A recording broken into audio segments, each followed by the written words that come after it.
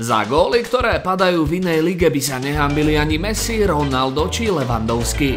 Dnes si ukážeme 5 najkrajších gólov, ktoré padli na slovenských dedinských trávnikoch v mesiaci október. Vítajte pri sledovaní, začína sa relácia Gól mesiaca inej ligy. Prvým nominovaným je hráč týmu FK Kojatice Patrik Vaško, ktorý po prebraní lopty si dovolil kľúčku cez brániaceho hráča a z dobrých 30 metrov vystrelil nechytateľnú strelu.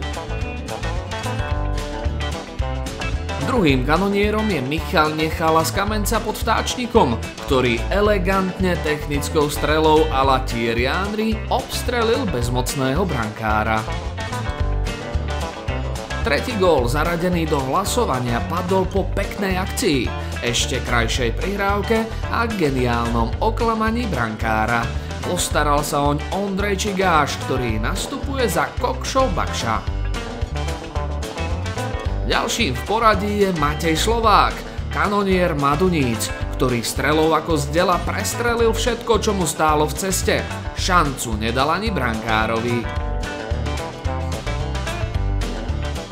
No a posledným adeptom na víťazstvo je Daniel Papcún, ktorý za košické Olšany strieľa takéto paradzinky.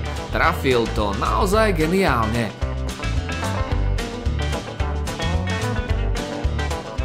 Toto je 5 našich nominácií na gól mesiaca október. O tom, kto bude víťazom, rozhodnete vy. Stačí zahlasovať za svojho favorita cez hlasovací formulár, ktorý nájdete v popise pod videom. Autor najkrajšieho gólu od nás dostane merch inej ligy.